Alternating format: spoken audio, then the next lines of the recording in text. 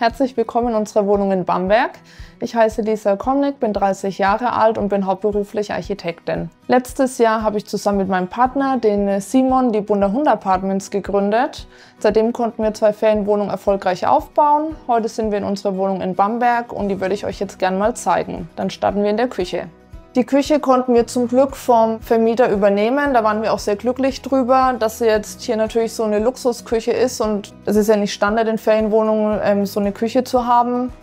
Die ist natürlich mit allen wichtigen Sachen ausgestattet, die man jetzt zum Kochen bräuchte. Sind auch ganz froh darüber, dass wir eine Spülmaschine schon haben. Ist natürlich ein Vorteil für unsere Feriengäste, wenn die nicht mit der Hand aufspülen müssen und hier diese Spülmaschine haben.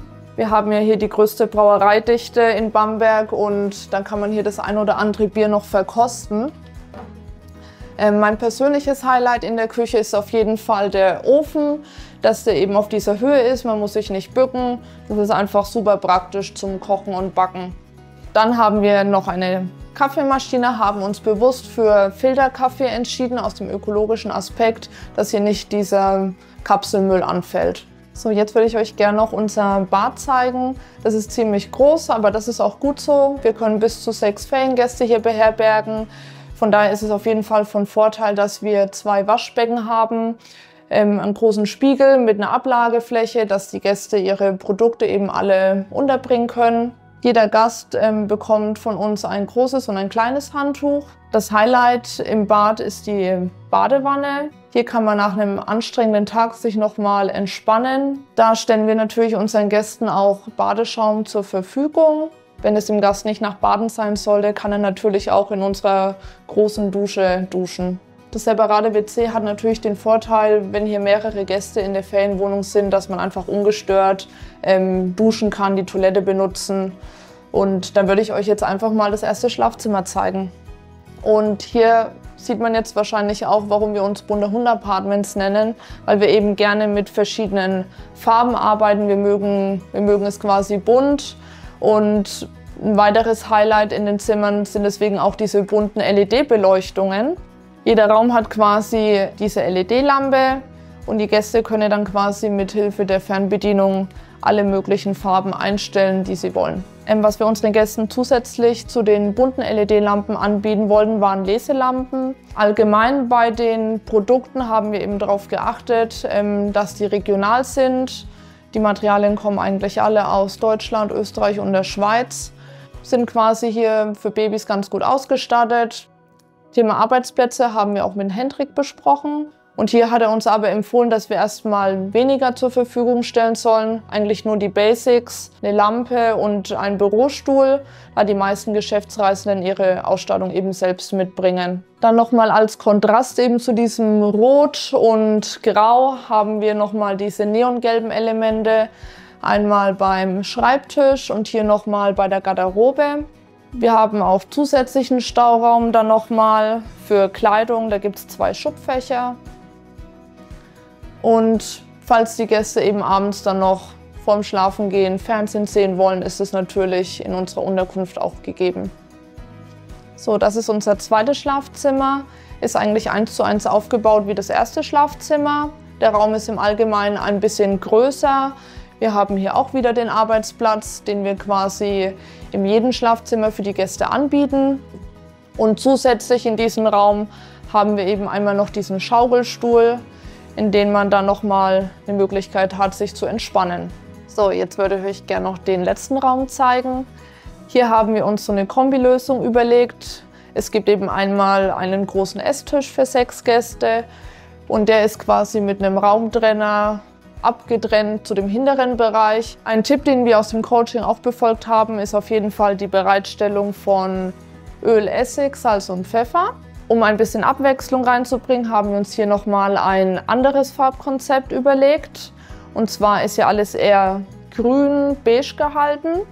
Wir haben wieder verschiedene Lichtquellen, die der Gast selbst steuern kann. Im hinteren Bereich ist eben das dritte Doppelbett. Wir haben wieder den Arbeitsplatz für unsere Gäste und vom Bett aus kann man dann quasi direkt nach draußen in die Innenstadt von Bamberg schauen. Und dann gibt es hier als Besonderheit in dem Raum nochmal diesen Erker, von dem man dann quasi direkt in die Stadt schauen kann. Hier kann man dann abends quasi nochmal bei einem Glas Wein den Tag Revue passieren lassen. Als weitere Ecke, die wir für diesen Raum eben eingerichtet haben, gibt es diese kleine Entspannungsecke. Da haben wir uns jetzt eben hier für einen Sitzsack entschieden. Und was wir natürlich auch immer gerne machen, ähm, ist die Bereitstellung von verschiedenen Infomaterialien, weil wir eben hauptsächlich ähm, Touristen beherbergen. Und dann ist es natürlich ganz schön, wenn sie noch mal in das ein oder andere Buch schauen können und sich hier dabei in dem Sitzsack entspannen. Unsere Wohnung ist insgesamt 120 Quadratmeter groß. Wir beherbergen hier bis zu sechs erwachsene Gäste plus ein Baby. Unsere Auslastung liegt ungefähr bei 70 Prozent und wir sind auf den Portalen ähm, wie Booking und Airbnb zu finden, konnten aber jetzt auch schon die Erfahrung in Bamberg machen, dass viele über die Website buchen. Die Gäste bezahlen bei uns pro Nacht zwischen 300 und 400 Euro und so kommen wir dann auf einen Umsatz von ca. 7000 Euro im Monat. Wir sind natürlich froh, dass wir die Wohnung jetzt hier so an den Start bringen konnten in Bamberg, haben viele Tipps von BNB Pro Hosting umgesetzt und freuen uns jetzt auch, wenn wir im Sommer die nächsten Wohnungen eröffnen können. Ich weiß jetzt, dass ich mit zwei Ferienwohnungen mehr verdienen kann wie in meinem Hauptjob als Informatiker und dass ich eben dementsprechend auch irgendwann auf Teilzeit gehen kann und gleichzeitig eben finanziell durch die Hilfe von BNB Pro Hosting keinerlei Einbußen haben werde und dementsprechend meine Zukunft auch deutlich freier gestalten kann. Ich bin der Simon Göring, ich bin 28 Jahre alt, hauptberuflich Informatiker bei einer großen Versicherung und wir betreiben zwei Ferienimmobilien in Bamberg und Rotenburg über das Arbitragemodell und heute sind wir hier in Bamberg. Das Besondere daran, Gastgeber zu sein, finde ich, ist vor allem der Kundenkontakt mit Gästen. Du siehst, wie Familien ihren Urlaub planen, die kommen her, die geben dir ein gutes Feedback, wenn sie einen schönen Urlaub hatten, fragen dich, wo sie hin können. Ähm, das gefällt mir eigentlich am Gastgeber sein am besten. Das Arbitrage-Geschäftsmodell in der Kurzzeitvermietung habe ich ausgewählt, ja, weil ich nebenbei ein bisschen Geld verdienen wollte und gleichzeitig eben mich sehr für Immobilien interessiere. Da ich aber durch meine jungen Jahre noch sehr limitiert im Eigenkapital bin, konnte ich jetzt nicht einfach neue Immobilien weiterhin kaufen. Da sagt die Bank leider nein. Und da kam dann eben das Arbitragemodell mit der Anmietung von Immobilien ganz recht.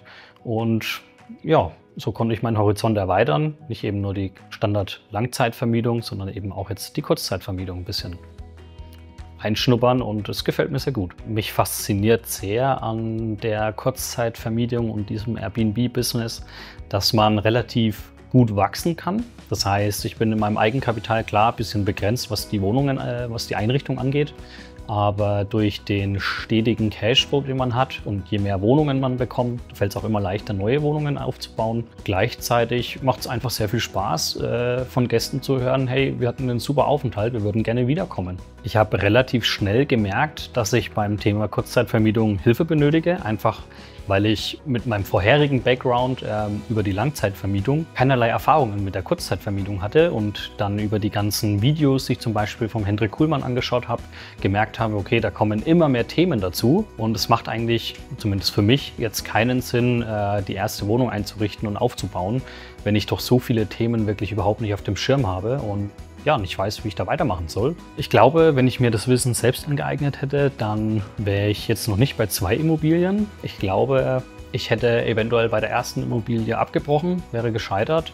Einfach weil der Workload wahrscheinlich zu groß gewesen wäre, über die ganzen einzelnen Themen sich selber einlesen. Ähm, du bekommst keinen Fahrplan, wie du Sachen am besten aufbaust, wie du in die Automatisierung reinstartest. Zu BNB Pro Hosting bin ich über Umwege gekommen. Ich habe meine Reise der Kurzzeitvermietung natürlich mit Social Media gestartet, habe Videos von Hendrik und anderen Anbietern gesehen und habe mich dann auch erst für einen anderen Anbieter entschieden. Habe meine erste Wohnung mit diesem Anbieter, Anbieter an den Start gebracht und dann aber relativ schnell gemerkt, okay, mir fehlt die Tiefe der Informationen ein bisschen und die konnte mir dann eben BNB Pro Hosting bieten. Deswegen habe ich mich im zweiten Schritt mit meiner Partnerin zusammen dann dafür entschieden, nochmal äh, das Geld für ein zweites Coaching zu investieren und so bin ich zu BNB Pro Hosting gekommen. Vor der Zusammenarbeit mit BNB Pro Hosting gab es einen Onboarding-Termin bzw. einen Beratungstermin mit einem Experten. Da ging es mir vor allem erstmal darum zu sagen, hey, ich habe hier schon eine Immobilie.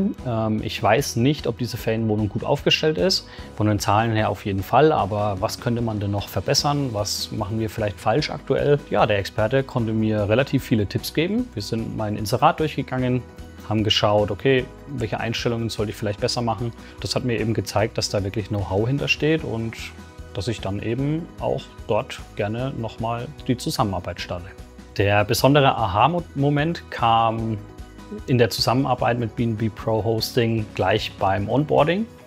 Ich habe in der Learning-Plattform gemerkt, okay, hey, die haben eine Suchfunktion hier eingebaut, die sogar die Videos äh, sprachlich analysiert nach meinem Suchwort und mir dann eben gleich auch die äh, Videoabschnitte präsentiert, in denen äh, es um das Suchwort geht, was natürlich die Informations- äh, Masse ein bisschen eingrenzt und mir die Suche deutlich erleichtert, wenn es wirklich um ein konkretes Thema geht.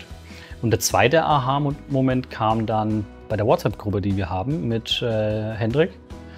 Er hat innerhalb von einer halben Stunde geantwortet, obwohl er gerade in Amerika unterwegs war. Also dachte ich mir, okay, wow, da steht Kundenzufriedenheit wirklich an hoher Stelle.